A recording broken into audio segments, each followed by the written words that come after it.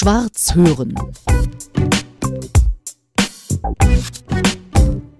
Der Mann, mit dem ich an einem historischen Tisch sitze, den kenne ich noch aus Zeiten von Jugendradio DT64. André Hamlin. André, schön, dass ich bei dir sein darf. Herzlich willkommen in den Heiligen Hallen, ja. Ja, in den Heiligen Hallen. Du hast mich schon ein bisschen durchgeführt, dazu kommen wir vielleicht gleich noch. Aber lass uns mal anfangen bei unserem Kennenlernen.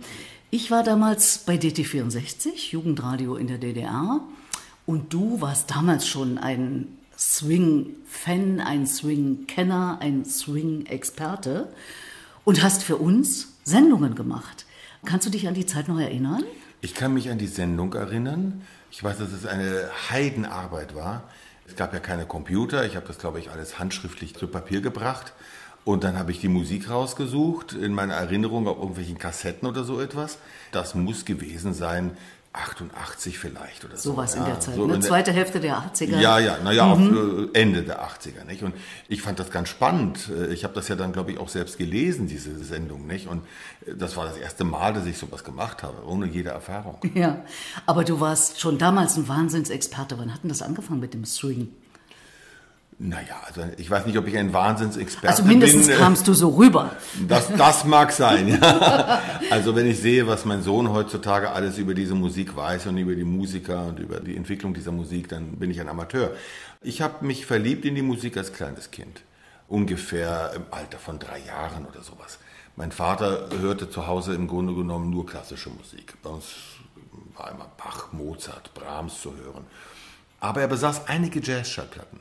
Und hin und wieder legte er etwas auf. Und dort hörte ich zum ersten Mal Django Reinhardt und Stefan Grappelli. Ich habe erst viel später erfahren, dass mein Vater sie in der Zeit der Emigration äh, in Paris live gehört hatte, in verschiedenen Cafés. Und er hatte wohl aus der Erinnerung heraus diese Platten gekauft. Das gefiel mir sehr gut. Und dann hörte ich eines Tages auf einer anderen Schallplatte, die er besaß, einen völlig anderen Klang, ein großes Orchester, ein gewisser Benny Goodman. Ich wusste nicht, wer das ist. Aber ich weiß nur, dass diese Aufnahme, ich weiß auch noch den Titel, Jam Session 1937, das hat mich umgehauen. Und von diesem Tag an war ich wirklich verliebt in diese Musik. Es ist eigentlich ein Körperteil von mir. Also wenn man mir das wegschneidet, dann sterbe ich. Ja, wie als würde man mir, weiß ich, die Leber rausnehmen. Das wäre dann auch nicht so gesund. Ohne diese Musik kann ich mir ein Leben nicht vorstellen. Damals war ich nur jemand, der diese Platten hörte. Aber geträumt habe ich schon. Eines Tages, eines Tages habe ich ein Orchester wie das von Goodman und dann werde ich durch die Welt reisen und überall werden mir die Menschen zuhören und Benny Goodman lieben. Das war ein Traum, eine Fantasie, dass das irgendwann mal in, in Erfüllung gehen könnte. Das hätte ich mir nicht vorstellen können. Der Traum ist aber lange in Erfüllung gegangen. Wie lange hast du dein Orchester jetzt? Na, es sind jetzt eigentlich 35 Jahre. Also natürlich haben wir sehr bescheiden angefangen. Ich weiß noch, unser erster Auftritt, das muss im April 1987 gewesen sein. Und zwar im Club der Bauarbeiterjugend. Sowas gab es nur in der DDR. Es waren aber gar keine Bauarbeiter da, sondern nur ganz normale Jugendliche. Und Hier in Berlin war das. Das war in Friedrichshain. Und Udo Ewald, äh, wenn ich mich an seinen Namen richtig erinnere, war ein Student bei mir an der Musikhochschule und der sprach mich an. Ja, er hätte da einen Auftritt, äh, es gäbe 70 Mark DDR für mich allein. Und ich habe gesagt, du alleine spiele ich nicht, wenn dann mit meiner Band. Ja, aber es gibt nur 70 Mark, sage ich. Ja, dann kommen wir eben für 70 Mark. Und dann haben wir da gespielt und wir hatten ein Repertoire, ich glaube, von zwölf Titeln. Das hat gerade so gereicht. Aber das war der erste Auftritt und das ist jetzt über 35 Jahre her. Und jetzt bist du ein höchst erfolgreicher Bandleader. Du hast inzwischen deine Kinder mit auf der Bühne, die eine Wahnsinnsfigur machen. Ich sage es mal so salopp. Die können beide singen, die können beide tanzen. Sohnemann spielt Schlagzeug in der Band, ist ein Entertainer vor dem Herrn. Und du sagst, er kennt sogar mehr an Swing-Infos als du. Das kann ich Ja, mir nicht bei weitem. vorstellen. Also erstmal sind beide Kinder viel begabter als ich. Wirklich viel begabter. Und das ist auch gar nicht schlimm. Im Gegenteil, ich finde das wunderbar. Wie sagt der Berliner, ich gucke da wie ein Schwein ins Uhrwerk, was die da so machen. Ja? Also das ist wirklich unbeschreiblich. Und zum anderen hat sich David insbesondere, Rachel auch, aber David insbesondere so hineingegraben in die Geschichte dieser Musik. Also ich frage ihn, nicht er mich. Ich frage ihn dann, du David, wann hat denn Benny Goodman den und den Titel aufgenommen? Ja, der ist das war an dem und dem Tag und der und der hat da gespielt und so. Das weiß der alles. Der verschlingt die Bücher, die es gibt. Er hat natürlich auch heute durch das Internet noch ganz andere Möglichkeiten, Dinge zu äh, erfahren. Aber er ist wirklich ein großer Experte geworden darin. Und was ihn auszeichnet, beide auszeichnet, sind beide sehr bescheiden geblieben. Also sind keine Angeber, überhaupt nicht. Sie wissen schon, was sie können aber sie gehen damit nicht hausieren. Und das mit Vatern zusammen, äh, ihr wohnt, glaube ich, auch noch zusammen? Nein, wir wohnen mehr. nicht mehr zusammen. Zeit, Zum, irgendwann habe ich meine sie Frau ist sehr traurig darüber, sie ist ganz entsetzt, dass sie so schnell ausgezogen sind. Wann David, sind sie weg? Naja, David ist ausgezogen, ja, wann war denn das genau? Ungefähr vor einem Dreivierteljahr ungefähr. Ja. Und Rachel ist kurz danach auch ausgezogen. Also noch Rachel nicht lange. Noch nicht, noch nicht lange. so lange. Nein, Irgendwann habe ich sie nämlich hier im Garten irgendwas umgraben sehen. Umgraben, ja. Ich muss noch sagen, wir wohnen in einer Straße in ja, Berlin. Ja. Lange schon. Und trotzdem bin ich jetzt das erste Mal bei dir. Wir treffen uns bei allen möglichen Gelegenheiten. Ist das nicht verrückt? Ja. Jedenfalls beide Kinder haben aber lange hier gelebt. Also ihr habt zusammen gelebt, ihr macht zusammen Musik, das funktioniert gut, ja? Oder gibt es da schon mal auch äh, Reibereien? Naja, natürlich gibt es die auch. Natürlich streitet man sich mal über irgendetwas, ja, über das Tempo eines Songs oder über den Ablauf eines Konzerts diskutieren wir natürlich manchmal. Und das ist auch ganz normal, das gehört sich auch so. Aber ich meine, ich habe sie ja nicht in diese Band gedrängt, sondern es ist ja so, dass sie beide unbedingt in der Band singen wollten oder spielen wollten. David hat damit sehr viel früher begonnen als Rachel. Also David hat ja, war noch nicht ganz drei Jahre alt, als er angefangen hat, sich selbst Schlagzeugspiel beizubringen. Er kam äh, mit vier Jahren aus dem Kindergarten und äh, rannte sofort nach oben und spielte erstmal den ersten Teil des Carnegie Hall Konzerts von Benny Goodman. Und dann rannte er runter, aß ein Nutella-Brötchen und rannte wieder hoch und spielte den zweiten Teil. Völlig beängstigend. Und ähm, er hat viele andere Sachen auch gemacht, aber das war sozusagen die Konstante. Und dann hat er angefangen zu singen, angefangen zu tanzen. Er war im Friedrichstadtpalast, da war Rachel auch. Also die haben sich die Dinge selbst gesucht. Ich weiß natürlich, dass viele glauben, na der Hermli, der hat doch seine Kinder da reingedrückt. Also erstens mal würde ich sowas sowieso nie machen, weil das das Schlimmste ist, was man tun kann. Weil man Kinder zu irgendetwas drängt, zu irgendetwas mhm. zwingt, sie sozusagen in eine vorgegebene Richtung schiebt. Das hat mein Vater nicht gemacht und das habe ich auch nicht gemacht. Und zum anderen ist es so, es würde sowieso nicht funktionieren. Denn äh, Kinder, äh, wenn sie dann sozusagen größer werden und erwachsen äh, sind, haben ihren eigenen Willen, ihre eigene Idee. Und sie müssen ihr Leben leben. Nicht das Leben der Eltern leben, sondern ihr eigenes Leben leben und auf ihre Weise glücklich werden. Das Beste, was Eltern tun können, und das haben meine Eltern doch eigentlich ziemlich gut hinbekommen, ist, den Kindern das Gefühl geben, wir lieben euch bedingungslos, egal was ihr seid oder wie, was ihr macht, und ihnen auch die Möglichkeit, die Freiheit zu geben, sich selbst zu entscheiden. Das klingt gut. Naja, aber ich finde es ehrlich gesagt selbstverständlich. Ich finde daran ja. nichts Besonderes. Ich finde nicht, dass das etwas Außergewöhnliches ist, sondern eigentlich ist es eine Binsenweisheit. Wird aber nicht so oft gelebt. Viele Eltern versuchen ja da dran rumzuarbeiten. Mach das nicht oder mach doch das, ja, trifft genau, den nicht, trifft genau, doch den. Genau. Und das ist etwas, was eigentlich erstens mal das Verhältnis zwischen den Kindern und den Eltern meistens ruiniert es richtet nur Schaden an, es nützt ja nichts. Mhm. Am Ende entscheiden sich Gott sei Dank die meisten Kinder dann doch ihr eigenes Leben zu leben und lassen sich nicht von den Eltern sozusagen dirigieren. Mhm. Und ist ja auch richtig so. Mhm. André, apropos Eltern, du hast deinen Vater schon mehrfach erwähnt und ich hatte am Anfang gesagt, wir sitzen an einem historischen Tisch. Du lebst dein Leben lang in diesem Haus, in dem wir hier sitzen, in Berlin, in Im Pankow. Wesentlichen. Ich war mal ein paar Jahre weg, aber ich war im Grunde genommen nie ganz hier, weg. Ja. In Pankow, in Berlin, eine sehr schöne Wohngegend. Ich kann das ja bestätigen, weil ich auch in dieser Straße wohne. Dein Vater, Stefan Hermlin, ein Mann, den man nicht erklären muss, ein bekannter Schriftsteller, ein Autor, ein Mann, der sich immer eingemischt hat in Zeitgeschehen. Und mir scheint, du hast das geerbt. Naja, das würde ich jetzt so nicht sagen. Also äh, ich finde es ganz wichtig, dass man äh, sich Rechenschaft ablegt darüber, was man kann und was man nicht kann. Ich bin ganz gut sozusagen im Präsentieren von Dingen und ich kann auch ein bestimmtes Ziel sehr konsequent verfolgen. Aber ich bin als Musiker bei weitem nicht so talentiert wie mein Vater als Schriftsteller und auch nicht so talentiert wie meine Kinder als Sänger oder als, als Musiker. Ich glaube, es ist wichtig, dass man sich realistisch einschätzt. Also ich habe von meinem Vater sozusagen nicht äh, die Kunst des Schreibens geerbt, obwohl ich ein Buch mal geschrieben habe vor ein paar Jahren. Aber ich habe ihm natürlich versucht nachzueifern. Ich habe meinen Vater wirklich abgöttisch geliebt und tue das heute genau so. Daran hat sich nichts geändert. Ich vermisse ihn sehr. Er ist seit 25 Jahren nicht mehr da. Aber ich träume oft von ihm. Und äh, wenn ich von ihm träume, und das war gerade erst vor ein paar Tagen, dann ist das eigentlich mehr als ein Traum. Es ist die Realität, die nur niemand kennt. Äh, denn eigentlich ist er nicht gestorben. Eigentlich sehe ich ihn und wir können miteinander reden. Und wir erleben auch Dinge zusammen. Und das ist äh, etwas sehr Tröstliches. Allerdings habe ich von meinem Vater, wenn man so will, versucht zu übernehmen, dass man sich einzumischen hat. Dass man nicht schweigt, wenn man das Gefühl hat, dass Unrecht geschieht oder dass etwas gesagt oder getan wird. Ah, die Uhr ist auch historisch? Ja, das ist eine Uhr, die ich noch nicht sehr lange habe. Sie ist aus den frühen 30er Jahren und ein sehr schönes Uhrwerk und die steht hier auf dem Sideboard von Bruno Paul und äh, hat gerade die halbe Stunde geschlagen. genau. So, Nein, also, also sich einmischen ist ein ja, wichtiges. Ich glaube, man muss sich einmischen und wir leben im Moment in Zeiten, in denen gerade auch in unserem Land das Gespräch von Geschrei abgelöst worden ist, in der ein tiefer Riss geht durch die Gesellschaft und auf beiden Seiten der Barrikade herrscht Wut und Verachtung.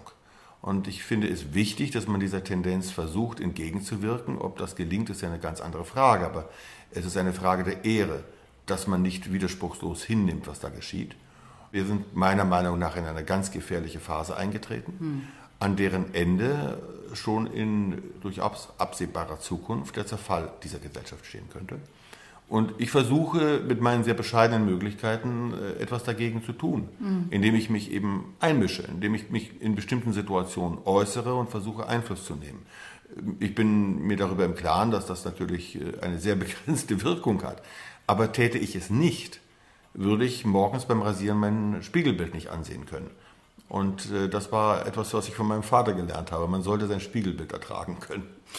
André, mir scheint, du stapelst tief weil du sagst bescheiden, also im Sinne von, also bescheiden sein, wunderbar, aber bescheidene Wirkung, gerade durch das Internet und du hast in der Corona-Zeit und machst es bis heute, glaube ich, jeden Tag Konzerte übers Internet gemacht und du bist weltweit zu hören mit deiner Band und deinen Musikern. Ja, das sind ja eigentlich gar keine Konzerte, sondern das sind eigentlich Sendungen. Ich nenne das ganz Sendungen? bewusst Broadcast, mhm. äh, weil es natürlich mehr ist als nur Musik, mhm. weil wir natürlich äh, Entertainment machen, auch manchmal völlig absurden Quatsch machen. Es ist alles improvisiert, so ein bisschen wie bei den äh, Martin und Jerry Lewis.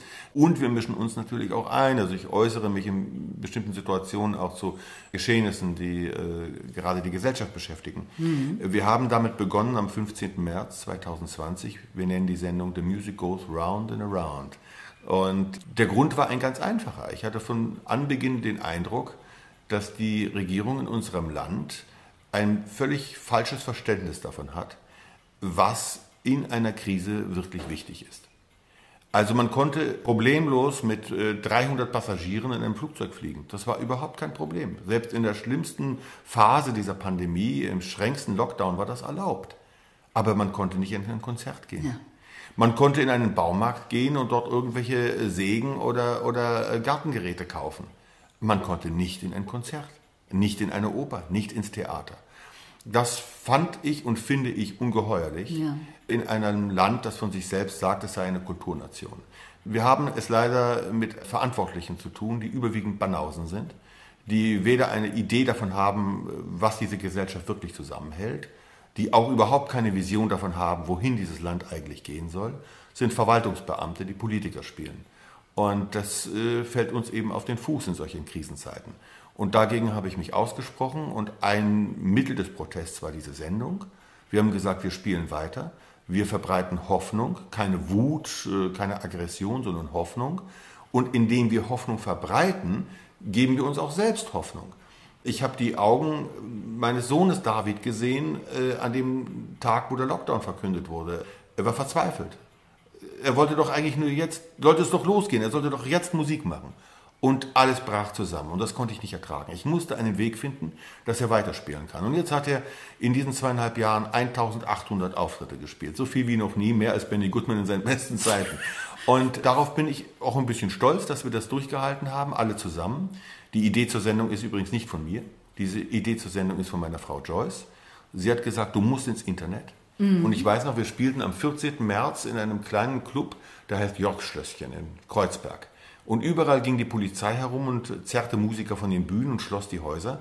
Und das Jockschlösschen haben sie vergessen. Obwohl das Ding seit 70 Jahren existiert. Nein, und, die haben sich nicht reingetraut, weil ihr da gespielt habt. Das weiß ich nicht. Vielleicht haben sie auch nicht reingetraut. Aber äh, Gott sei Dank haben sich ein paar Gäste reingetraut. Und wir haben da gespielt und ich saß, was mir noch nie passiert ist. Heulend am Klavier. Es ist vorbei, nie wieder, nie wieder. Und plötzlich, das war wirklich wie so, eine, wie so ein, ein Lichtstrahl, der auf mich fiel. Moment, warte mal, André. Wer sagt denn, dass du aufhörst? Nein. Nein, nein, nein, nein, nein, du spielst weiter. Sofort. Und dann schrieb ich meiner Frau eine Nachricht. Tomorrow we are going to start a stream. Every night. Swing won't die, not under my watch. Und ich weiß noch, ich rief dann mal Joyce an und sie sagte, ja, lass uns mal erstmal noch besprechen. Und ich sage, nein, wir reden nicht mehr. Wir haben genug geredet, jetzt wird gehandelt. Und in dem Moment war mir vollkommen klar, das ist die Lösung. Und dann habe ich den Musikern gesagt, kommt zu uns. Und wir wussten nicht mal, wie wir das machen sollten. Wir mussten erst mal googeln, wie äh, filmt man live, ja, Facebook. Und dann hatten wir gar kein Stativ dafür. Also haben wir ein Mikrofonstativ genommen. Das passte nicht mit dem Telefon zusammen. Also haben wir so einen Karton ausgeschnitten, das gefaltet und das da reingeklemmt. Und dann haben wir geguckt, ob jemand guckt. Und als die Sendung zu Ende war, die erste, hatten 15.000 Menschen zugeschaut. Boah in Kenia, in Israel, in Kolumbien, in den USA, in Dänemark, in äh, Russland. Und da wussten wir, wir tun das Richtige. Und daraus haben sich ganz viel entwickelt, eine völlig neue Band, deswegen in Hermlands. Wir haben ein Buch herausgebracht äh, mit Fotografien von Uwe Haut und Texten von Tukor und äh, von Daniel Hope. Wir haben eine, verlegen eine Kulturzeitung, äh, die Hermanville Times. In Kürze erscheint wieder eine neue Ausgabe davon. In Zeiten, Online oder auch Nein, gedruckt? gedruckt nur gedruckt. Oh. Nur gedruckt mhm. auf teuerstem Papier mit sehr guten Autoren. Also Volker Braun äh, schreibt da, Eric Kirschbaum von der LA Times schreibt dort. Es sind ganz viele Leute, Stefan Bute. Man muss ein Zeichen setzen. Mhm. Man muss die Kultur verteidigen. Das ja. ist die Idee. Mhm. Und äh, deswegen so traurig eigentlich der Anlass ist, die Pandemie, aber sie hat mir sehr viel gegeben. Ich habe wirklich mein Leben verändert, meine Sicht auf viele Dinge verändert und es ist daraus etwas Unglaubliches entstanden, diese ganz neue Band und äh, diese Sendung. Und äh, ich hatte in diesen zweieinhalb Jahren, die die Krise jetzt andauert, keinen einzigen traurigen Tag. Nicht einen einzigen. Ich hatte da auch gar keine Zeit dazu. Im August letzten Jahres hatten wir 50 Auftritte in einem einzigen Monat. Und ich glaube, wir haben auch wirklich Menschen helfen können. Wir haben so viele Nachrichten bekommen, gerade auch in den ersten Monaten, schrieben uns Leute aus der ganzen Welt, wir haben keine Hoffnung mehr. Wir haben nur noch euch.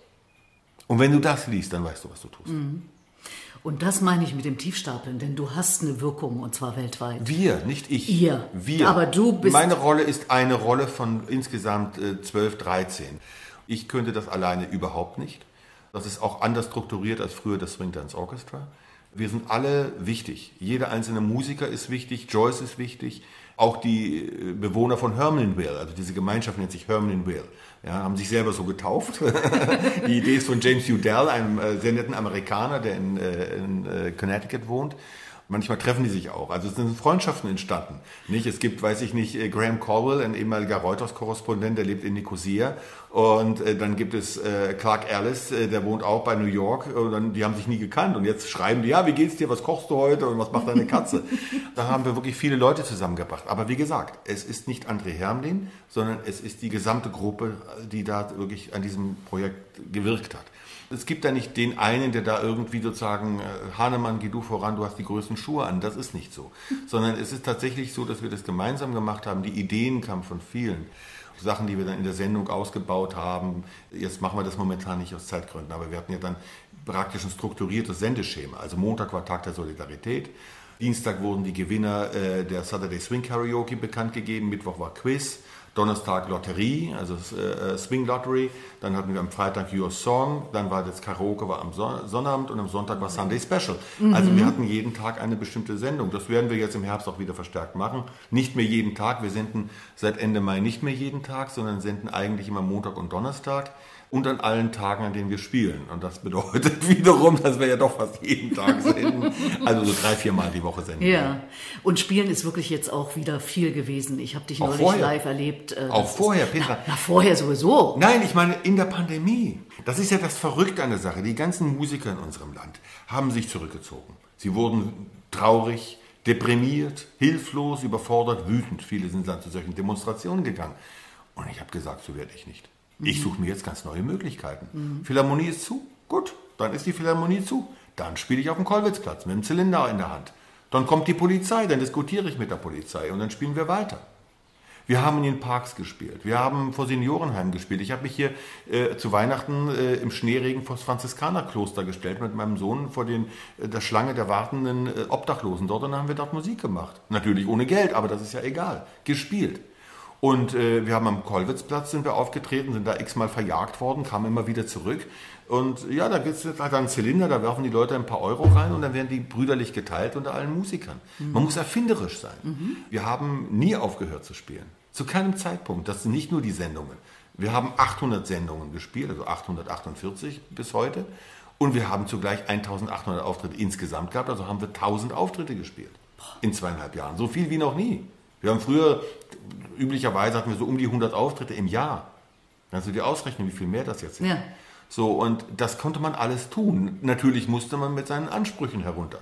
Nicht? Äh, klar, wenn jemand sagt, ich äh, spiele nur für 10.000 Euro, das geht dann halt nicht auf der Straße. Aber wir hatten oft solche Erlebnisse, dann kamen Leute und sagten, Herr Hermlin, Sie hier? Und dann habe ich immer geantwortet, ja, aber Sie sind doch auch hier. also man geht dorthin, wo die Menschen sind. Mhm. Und als, wer als Musiker nicht verstanden hat, dass man mal ganz oben und vielleicht auch mal ganz unten sein kann, und das unten aber gar nicht unten ist, sondern eigentlich oben, wer das nicht verstanden hat, ist für den Beruf vollkommen ungeeignet. Daran habe ich immer geglaubt, auch vor der Krise. Und jetzt kommt eine Krise uns zu, die wird viel furchtbarer. Dagegen ist die Pandemie ein lächerliches Vorspiel gewesen. Ich bin gespannt, wie die Musiker und die Künstler und überhaupt alle Menschen in diesem Land mit dieser Krise zurechtkommen werden. Hm. Wahrscheinlich gar nicht. Wir schon. Du meinst die ökonomische Krise, die gesamtgesellschaftliche Krise? Wie, ja, wie nennst du sie? Den Untergang des Westens nenne ich das. Ich hoffe natürlich, dass es nicht dazu kommt. Ich hoffe darauf, dass irgendwie ein Wunder geschieht und der Kapitalismus sich doch noch einmal rettet. Ja, aber ich fürchte, er ist jetzt an seine Grenze gekommen. Wir haben eine bereits sturmreif geschossene Gesellschaft durch die Entwicklung der letzten 20 Jahre, die Entsolidarisierung äh, in der Gesellschaft, die Krisen, die es vorher gab, äh, anhand der sogenannten Flüchtlingskrise ist ja zutage getreten, dass ungefähr die Hälfte der Bevölkerung, wahrscheinlich sogar mehr, sich abgewandt haben von der Demokratie, in der wir leben. Du meinst die Flüchtlingskrise 2015? Richtig. Mhm. Und wir haben erlebt, äh, wie die äh, Corona-Krise äh, das Land verwirrt hat. Das heißt, es ist ja ohnehin schon viel zerstört an Vertrauen. Ich meine, wenn man sich heute hinstellt auf dem Alexanderplatz und laut ruft, ich war bei der Stasi, das interessiert keinen Menschen. Wenn ich mich hinstelle und sage, ich bin bei der FDP oder der CDU, dann werde ich mit Eiern beworfen. Also das Ansehen der Politik ist eine Katastrophe. Das Ansehen der, der Medien ist eine Katastrophe. Ich mache natürlich dieses Geschrei nicht ohne weiteres mit, aber natürlich hat die Politik und natürlich haben die Medien einen Anteil an ihrem schlechten Ansehen. Es ist wie in einer Beziehung. Solange man sich streitet, ist das ja gar nicht schlimm. Aber wenn äh, der Streit abgelöst wird von Verachtung, dass man dem anderen nur noch sagt, ach komm, ich will dir gar nicht mehr zuhören, verschwinde, du bist mir sowas von egal, dann ist die Beziehung tot. Und das zurückzubekommen, ist ganz schwer. Das haben wir zum Beispiel, wir beide ja auch erlebt am Ende der DDR. Es war nur noch Verachtung. Man hat äh, gar nichts mehr zugehört. Und als sie dann auf die Straße gegangen sind, die äh, Krenz und, und Schabowskis dieser Welt, hat man sie auch nur noch ausgelacht. Keiner mehr hat ihnen zugehört. Hätten sie das gleiche zehn Jahre früher erzählt, wären sie die großen Helden gewesen. Es ist auch eine Frage des Timings. Mhm. Und wir sind längst über den Punkt hinaus, in dem die Politik äh, noch eine Chance gehabt hätte, die Menschen zu erreichen. Und jetzt kommt die große Krise in Form der Gaskrise, in Form der Benzin- und Stromkrise, die eine enorme äh, Kettenreaktion auslösen wird. Also wenn, ich habe gerade gestern gelesen, ein Bäcker nicht mehr 1000, sondern 3000 oder 4000 Euro für seinen Strom bezahlen muss, dann werden die Brötchen auch ein bisschen mehr kosten. Ja. Und das hatte wiederum dann Konsequenzen für viele andere Waren, die wir kaufen wollen. Es ist den Leuten überhaupt noch nicht klar, was auf sie zukommt. Ja. Das ist eine unvorstellbare Katastrophe. Und von dem Leben, das wir kannten, und das ja schon eigentlich weg war im März 2020, aber jetzt verschwindet es einfach. Und wer sich darauf nicht einrichtet, zumindest emotional nicht einrichtet, wird daran zerbrechen. Mhm. Und mir war im März 2020 klar, es ist vorbei. Die alte Zeit kommt nicht mehr zurück.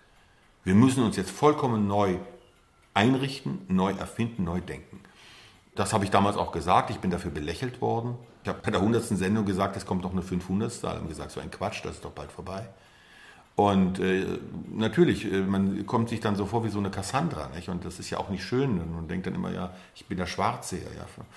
Auf der anderen Seite sind ja die Entwicklungen doch so eingetreten, sogar schneller als ich. Ich habe immer gesagt, auf die Pandemie folgt eine große soziale und wirtschaftliche Krise und dann kommt Krieg. Das habe ich öffentlich gesagt und der Krieg ist schneller gekommen. Ich habe so gesagt, sechs, sieben Jahre. Es waren nur zwei. Es war der 24. Februar dieses Jahres. Richtig. Ich nehme an, dich hat es möglicherweise noch mehr tangiert als uns alle, weil du hast eine russische Mutter. Na, nicht nur das, ich habe auch einen ukrainischen Großvater. Also natürlich ist das, was am 24. Februar geschehen ist, eine enorme Zäsur in vielerlei Hinsicht. Also zunächst einmal hat die russische Regierung eine verhängnisvolle Entscheidung getroffen. Sie kommt aus dieser Entscheidung nämlich nicht mehr heraus. Wenn man etwas unternimmt, sollte man über die Konsequenzen dessen, äh, was man da tut, nachdenken, vor allen Dingen auch langfristig nachdenken. Russland wird es nicht gelingen, die Ukraine zu erobern. Das ist unmöglich. Es ist ein gigantisches Land mit einer größtenteils feindseligen Bevölkerung, die die russische Invasion ablehnt. Es gibt sicherlich auch äh, Menschen in der Ukraine, die das anders sehen, aber die Mehrheit fühlt sich überfallen und ist überfallen. Es ist ein Land mit einer großen Tradition des Partisanenkampfes. Es ist vollkommen undenkbar, es sei denn, man schickt da 10 Millionen Soldaten rein, dieses Land unter Kontrolle zu bekommen. Was viele nicht wissen, der Zweite Weltkrieg war 1945 in der Ukraine nicht vorbei. Der ging noch bis in die 50er Jahre. Schwere Kämpfe. Also die Vorstellung, dass äh, die russische Führung die Ukraine niederwerfen und kontrollieren kann, ist absurd. Sie richtet furchtbares Leid an im Land, aber sie zerstört auch Russland. Umgekehrt wird es natürlich der Ukraine auch nicht gelingen, Russland zu besiegen. Wie soll das gehen? Das haben schon ganz andere versucht. Das heißt mit anderen Worten, es ist eine vollkommen hoffnungslose Situation. Es gibt im Grunde genommen eigentlich nur zwei logische Szenarien. Entweder die Eskalation in einen Atomkrieg oder einen sehr, sehr lang anhaltenden, blutigen Krieg, der immer wieder das Risiko in sich birgt, dass er zu einer nuklearen Katastrophe wird.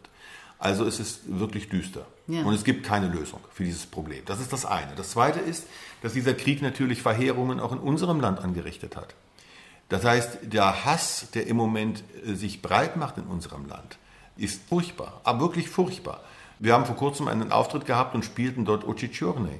Und eine Frau ähm, hat die ganze Zeit die Daumen nach unten und gezeigt. Und, und ich komme zu ihr und sage, was ist denn los? Und sie sagt, ja, es, es, ist doch, es sei ungeheuerlich, in dieser Zeit russische Musik zu spielen. Es gibt natürlich nicht wenige Deutsche, die jetzt äh, erleichtert sind.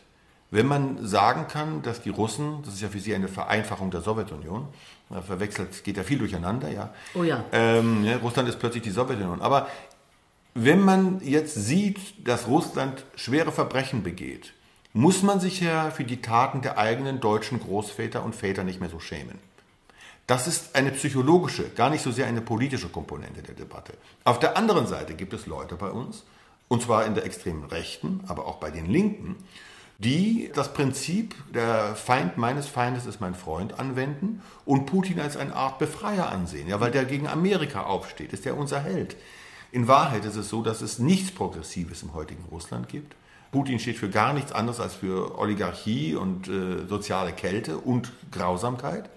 Die Ukraine ist natürlich auch bei weitem nicht so demokratisch, wie wir immer so tun. Und die Amerikaner äh, und Westeuropa haben ihre eigenen Interessen. Nur, dass sich die Westeuropäer besonders dumm anstellen im Moment. Also, es ist eigentlich eine vollkommen niederschmetternde Situation. Es sind überall Amateure am Werk. Und das sage ich als Nicht-Militärexperte, Nicht-Politiker, als Musiker. Aber wenn mir das schon auffällt, dann ist es besonders schlimm. Ich habe im Moment wirklich keine Idee, wirklich gar keine Idee, wie wir aus dieser Lage wieder herauskommen. Und die Gespräche, die ich führe, hier bei uns, vielleicht auch mit dem einen oder anderen in Moskau, bestärken diese. Und das große Getöse, das hier auch bei uns immer so in den Medien äh, stattfindet und die großen Reden, die geschwungen werden, kaschieren nur die Verwirrung, die in der Politik herrscht. Es ist keineswegs so, dass die Bundesregierung weiß, was sie da tut. Das ist ganz und gar nicht der Fall. Man hat etwas gemacht und jetzt sieht man die Konsequenzen und weiß nicht, wie man da rauskommt. Und das war bei, bei der Corona-Pandemie übrigens auch nicht anders. Mhm. Und das ist das Problem, wenn man im Schach ich weiß nicht, ob du Schach spielst.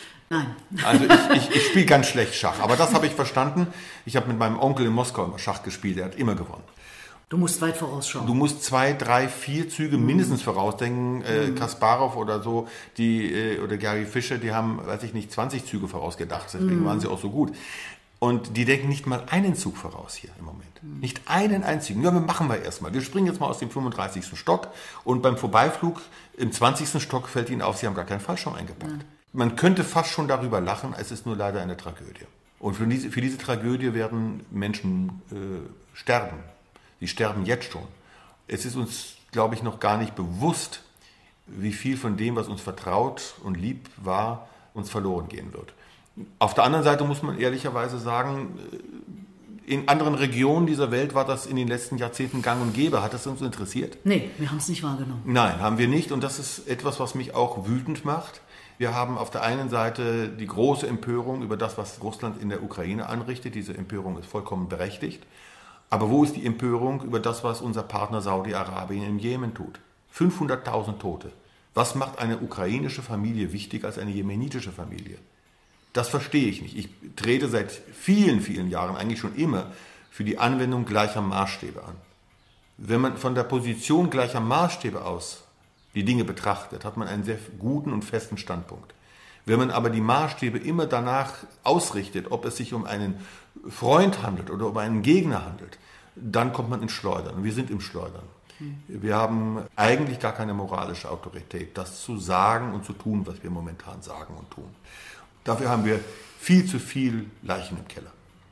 Naja, was mir dazu einfällt, ist, der Jemen ist halt viel weiter weg als die Ukraine. Und wir sind immer in unserem Blickfeld äh, irgendwie bei dem Näheren. Aber gut, naja, Petra, äh, das Problem, also, ist, das Problem ist, denke aber wir Folgendes nach. Die Ukraine ist eigentlich auch ganz weit weg. Ich glaube, vor zwei Jahren hat sich keine Sau für die Ukraine interessiert. Stimmt, wusste, weil seit 2014 ist ja dort schon. Ja, das hat niemanden wirklich es hat niemanden wirklich beschäftigt, es hat niemanden interessiert. Sondern das Ganze ist natürlich, wenn wir ehrlich sind, auch sehr viel Propaganda. Wenn ich den Leuten etwas erzähle und ihnen immer wieder das Gleiche erzähle und es überall erzähle, dann fangen sich die Leute an, dafür zu interessieren.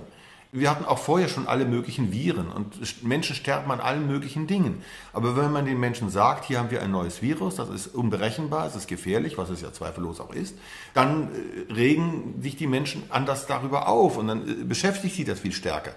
Und äh, wenn die Bundesregierung in den letzten äh, fünf Jahren die ganze Zeit über den Jemen gesprochen hätte, hätte man sich vielleicht auch mehr dafür interessiert. Und hier kommen noch andere Dinge hinein, nämlich natürlich das Verhältnis zu Russland sollen doch bitte nicht so tun, als würde es da nur ausschließlich um die Ukraine gehen.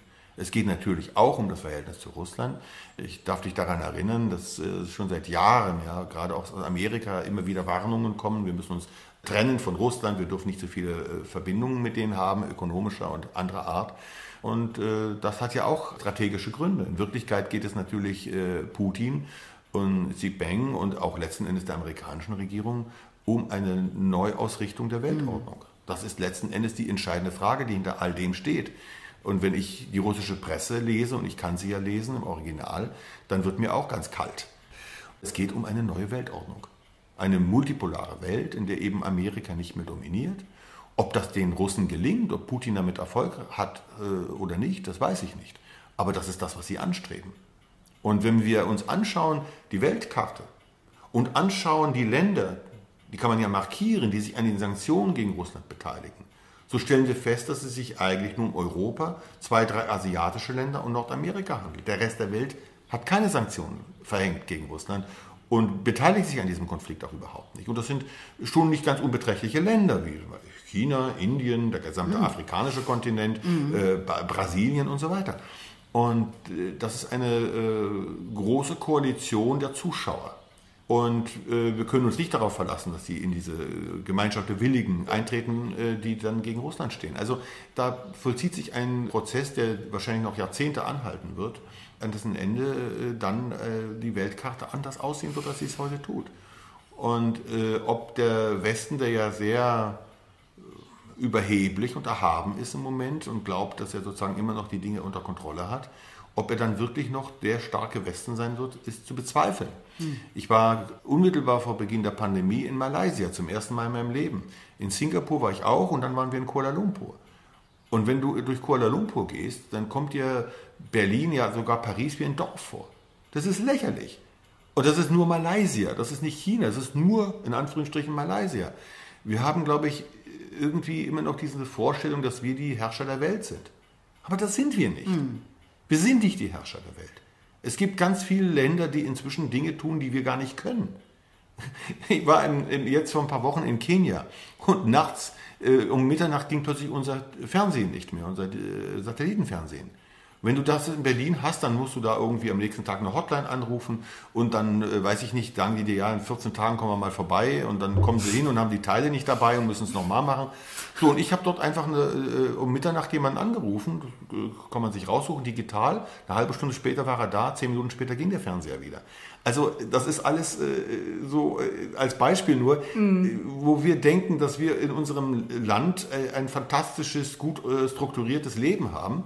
Und äh, in Kenia funktionieren Dinge viel besser. Ich sitze in meinem Garten am Mount Kenya und habe bestes Funknetz. Und hier, äh, wenn ich auf der A9 fahre, brechen wir die Gespräche alle fünf Minuten ab. Wir müssen aufpassen, äh, dass wir den Anschluss nicht verlieren und in unserer Überheblichkeit nicht übersehen, dass wir in Wirklichkeit auf einem absteigenden Ast sind. Du analysierst das in einer Weise, ich könnte dir 100 Jahre zuhören. Das können wir aber nicht. Das können wir aber nicht. In 100 Jahren.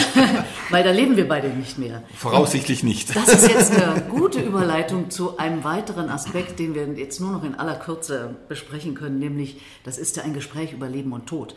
Du hast schon mehrfach Menschen sterben erwähnt in unserem Gespräch. Aber lass uns doch jetzt mal den Blick auf unser eigenes Leben werfen, insbesondere natürlich auf deins. Du bist Jahrgang 65. Das heißt, du hast noch ich bin bald dran. Ich bin bald naja, dran. Naja, naja. Du, es kann morgen sein. Das ist wohl wahr. Hast du die Einstellung? Ich habe diese Einstellung, dass ich äh, versuche, ganz im Sinne von Leonardo DiCaprio auf der Titanic, damit jeder Tag zählt, mhm. jeden Tag gut zu leben. Weil ich nicht weiß, was ist. Ich habe einen Musiker zum Beispiel, einen fantastischen Musiker, der mit mir bei Classic Open Air auftrat vor einigen Wochen. Und wenige Tage später hatte er einen Schlaganfall. Er hat ihn überlebt, aber er ist nicht mehr derselbe. Das Leben kann sich sofort ändern, innerhalb einer Minute. Und es ist wichtig, darüber sozusagen sich äh, Rechenschaft abzulegen. Und wenn man das tut, heißt das ja nicht, dass man ständig auf den Tod wartet. Aber es bedeutet, dass man intensiver lebt und nicht Dinge auf später verschiebt. Ich habe nie Dinge auf später verschoben. Ich wollte immer alles haben und zwar sofort. und äh, das habe ich, glaube ich, auch hinbekommen. Mhm. Ich habe mir meine Träume erfüllt, auch die, die so unrealistisch waren, dass ich sie gar nicht zu träumen wagte. Und wenn man 56 ist, ich bin in Kürze 57, dann logischerweise denkt man äh, nach äh, darüber, wie viel Zeit ist denn da eigentlich noch. Die ist ja nicht mehr so lang. Es kann eine Minute sein, es können vielleicht auch noch 20 oder 30 Jahre sein. Aber es ist nicht mehr unendlich lang. Ich bin eigentlich mit dem Gedanken daran, dass ich dann irgendwann nicht mehr da bin, auch versöhnt. Erstens mal sehe ich wahrscheinlich meinen Vater wieder.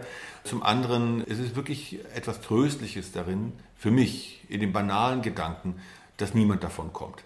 Also es ist ja nicht so, dass einer stirbt und die anderen leben, sondern alle sterben. Es ist eine Frage des Zeitpunkts, es ist eine Frage auch sicherlich, äh, auf welche Weise. Vor allen Dingen kommt es aber eben darauf an, dass man nichts bedauert, nichts bereut. Und ich habe wenig zu bereuen, wenig zu bedauern. Ich habe nicht alles richtig gemacht, natürlich, das ist völlig klar. Aber ich habe ein sehr, sehr erfülltes Leben gehabt. Also wenn ich morgen sterben müsste, möchte ich nicht, dass die Leute sagen, ach Gott, der ist mit 56 gestorben, wie traurig ich habe wirklich sehr viel Glück gehabt in meinem mhm. Leben. Meine Kinder werden fortsetzen, die Dinge, die ich da angefangen habe, wahrscheinlich sogar sehr viel besser machen als ich. Was danach geschieht mit uns, wissen wir ja auch nicht. Wer weiß das schon? Also ich bin äh, ganz und gar nicht esoterisch veranlagt. Aber ich erinnere mich daran, wie ich hier an diesem Tisch mit meiner Mutter und mit meinem Vater saß. Und das war Ende März 1997. Und meine Mutter äh, hatte eine so äh, esoterisch angehauchte Freundin und wir diskutierten darüber und ich war hilflos und wandte mich an meinen Vater. Papa, nun sag du doch mal etwas über diesen Unsinn. Und mein Vater sah mich an und sagte zwei Sätze. Nun reg dich mal nicht so auf, wer weiß das schon so genau. Und eine Woche später starb er. Und ich weiß bis heute nicht, warum er das gesagt hat, weil dieser Satz passt überhaupt nicht zu ihm. Er hatte so etwas noch nie gesagt. Es war das Gegenteil von dem, was ich erwartet hatte. Und in der Folgezeit sind viele merkwürdige Dinge geschehen, Träume, Visionen, ja, die ich hatte und von denen ich weiß, ich hatte sie, dass es nichts eingebildet ist. Also wir wissen es nicht. Wir wissen nicht, wie viele Fische im Ozean leben. Äh, wir können gerade mal bis zum Mond gucken, sag ich mal, und alles andere ist Spekulation. Wenn wir das alles nicht so ganz genau wissen, was wissen wir überhaupt? Und infolgedessen bin ich äh, durchaus auch neugierig. Wer weiß, was auf mich wartet. Und wenn es nur mein Vater ist, wäre das schon genug. Schwarz hören.